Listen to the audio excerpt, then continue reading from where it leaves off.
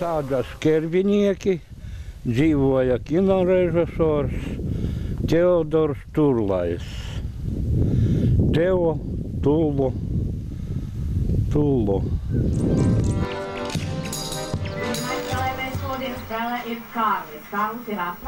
Pēdējais bija Kristīns, ka jau par pēdējo sauc, es nezinu.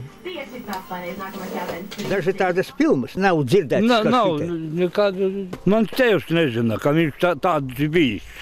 Izdomājam, varbūt. Jā. Varēja informēt vismaz šo niecīgo tautu, cik jau mēs te esam. Nu, tā ir plāksnē, tev tā kā nebūtu nevainas pamanām. Bet tas akmens varēja būt lielāks, kaut kāds tur trīs stūrājināks. Viņš tāds parasts lauka akmens. Nu, nu, nu, nu, varbūt viņam ir liela vērtība.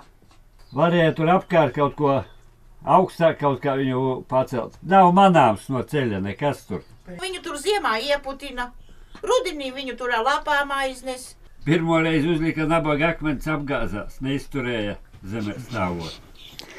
Kas viņu lika, tu zini? Pagasta bezdarbnieki.